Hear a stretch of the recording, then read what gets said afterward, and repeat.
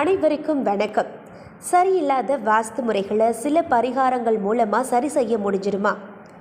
உறங்கும்போது தலையை தெற்கு திசை நோக்கி இருக்க வேண்டும்.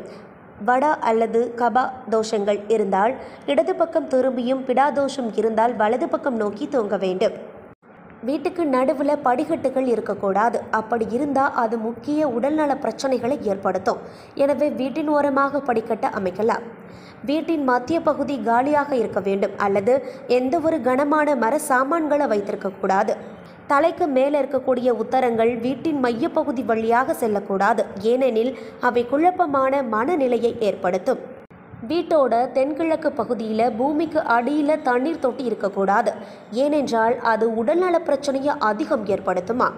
வீட்டின் அக்னி மூலையில் அதாவது வீட்டோட தென்கிழக்கு மூலையில் தினமும் ஒரு மெழுகுவர்த்தியை ஏற்றி வைக்கிறது ரொம்பவே நல்லது. வீட்டை சுற்றி இருக்கக்கூடிய சுவரும் அதன் கதவும் ஒரே உயரத்தில் இருக்கணும். கதவோட ரெண்டு பக்கத்துலேயும் சிட்ரஸ் பழங்கள் அல்லது செடிகளை வளர்க்கலாம். உங்களுடைய வீட்டில் யாரேனுக்கும் உடல் நலம் சரியில்லை அப்படின்னா அவரோட அறையில் சில வாரங்களுக்கு மெழுகுவர்த்தியை எரிய வைக்கிறது நல்ல ஆரோக்கியத்தை கொடுக்குமா? வீட்டோட தென் திசையை நோக்கி ஆஞ்சநேயர் படத்தை வச்சிருக்கிறது.